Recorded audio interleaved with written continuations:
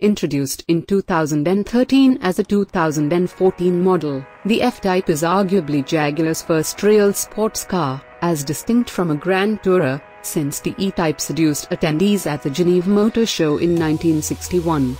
Offered in hatchback coupe and convertible editions, the F-Type boasts exceptional rigidity with an aluminum-intensive chassis, an accomplishment by the engineering and development team that necessitates little compensatory bracing for the open-top version.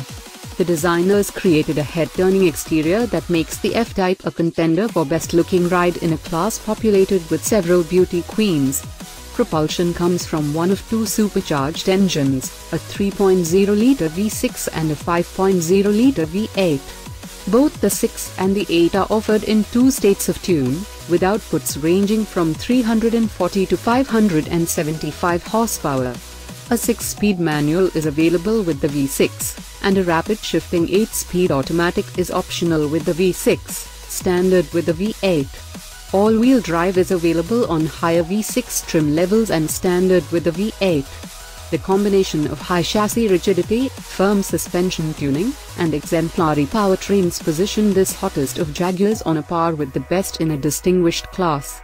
Add competitive pricing, and the Jaguar F-Type makes a compelling case as a world-class sports car with a British accent.